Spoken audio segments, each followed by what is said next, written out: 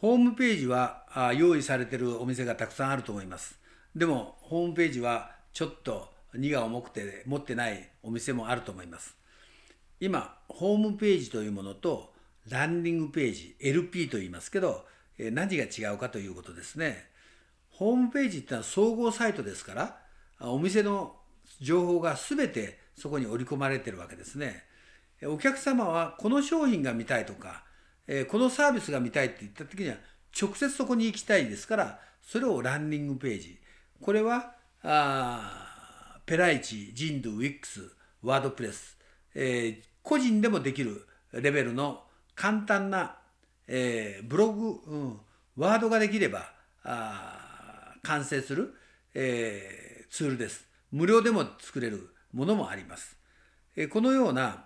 えホームページは持ってるけど、中身の更新をするときにいちいち、えー専門家に頼まなきゃいけない時代から、えー気がついたらいつも更新をできる自分たちで触れる、えーランディングページとはあかなり違ってると思います。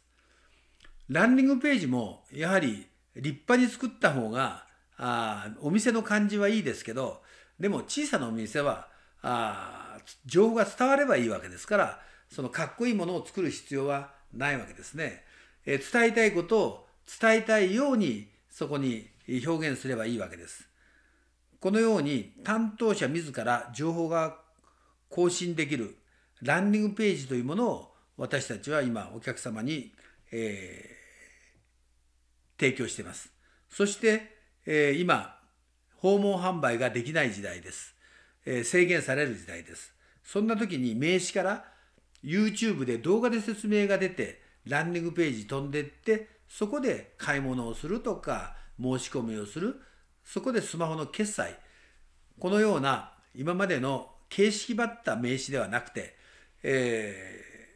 営業する名刺。ぜひそれを私たちと一緒に作り上げようではありませんか。